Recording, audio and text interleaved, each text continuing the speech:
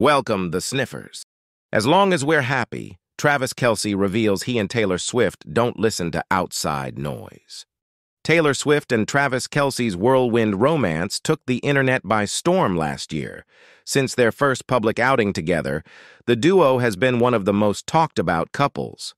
In a recent interview, Kelsey opened up on how he and Swift manage excessive media coverage. The Kansas City Chiefs star revealed ahead of the AFC Championship against the Baltimore Ravens that the only thing that matters is his and Swift's happiness. Thanks for watching.